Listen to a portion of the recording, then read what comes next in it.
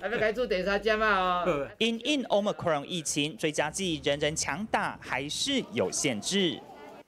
也就是说，十二周以后你再打你的呃下一季的呃 Moderna 或者 BNT，其实心肌炎的几率就变少了。帮我收起来。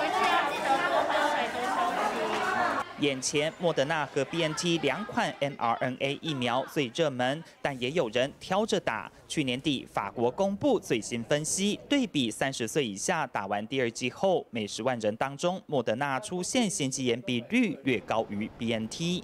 目前，呃，打第三剂的莫德纳我们只用半剂，那全世界国际的医学研究也没有告诉我们打第三剂完以后。呃，是不是会增加很多的心肌炎呢？可是我们在乎的是打疫苗，其实是在于保护重症的这一块。那至少它能在重症的保护力上维持的都还不错，都还能够在八成以上。哦，所以我们为什么还是会建议民众要去打第三针的原因，就是在这边。